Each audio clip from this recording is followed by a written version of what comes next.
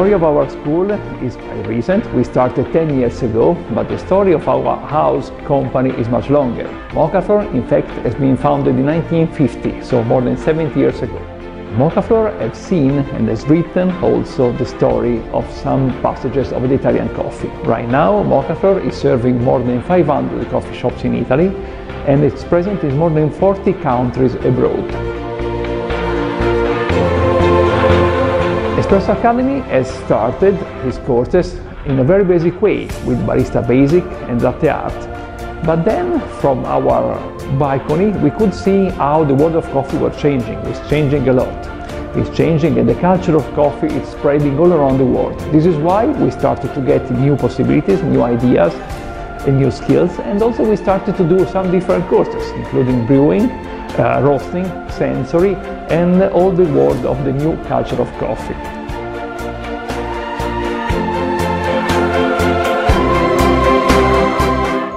I arrived in Mokaflor in this company, and I started to see that many people want to open a coffee shop, want to know more about coffee.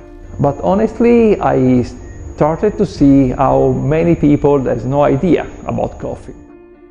I started to think that I would found, I would create a school where the barista can become self-conscious about this idea.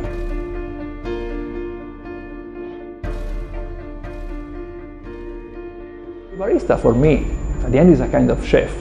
You must be able to uh, choose the right coffee. You must be able to roast it in the proper way. You must be able to taste it, getting and looking for the right sensation. For me it's great the opportunity to have a window open in the world of coffee and in the world in itself in general.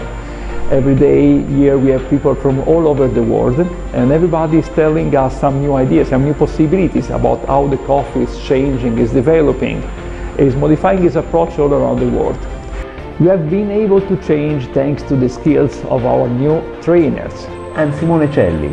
I'm one of the trainers of Espresso Academy Coffee School in Florence. Hi to everyone, my name is Elena. I'm Ilaria, I'm a barista.